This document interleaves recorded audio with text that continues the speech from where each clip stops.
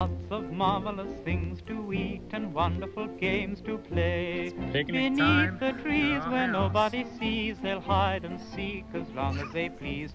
That's the way the teddy bears have their picnic.